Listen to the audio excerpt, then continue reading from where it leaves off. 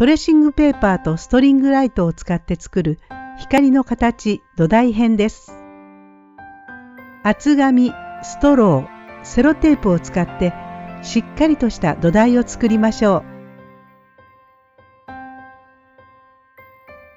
ストリングライトを袋から出したら、ストッパーを引き抜き、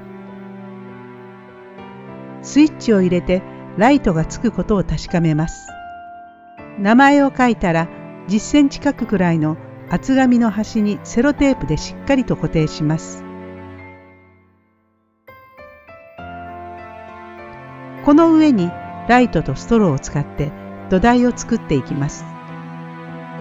ストローを厚紙の端3箇所にセロテープで貼ります。ストローは長さが違っていてもパーツがついていても構いません。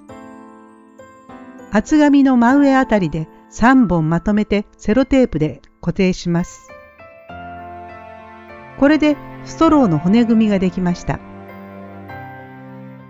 パーツのついたストローを付け足す場合は場所を決めたら骨組みと台紙にセロテープで固定します。ここまでできたらライトをつけていきます。ストリングライトのワイヤーを外し絡まないように気をつけながら厚紙やストローにセロテープで留めていきます。この時引っ張りすぎないようにたるませながらテープで留めていきましょう。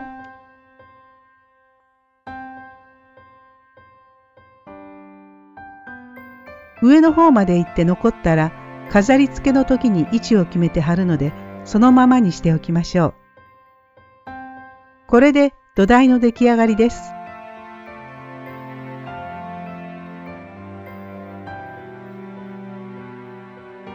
この上にパーツを貼り付けて光の形を作っていきましょう。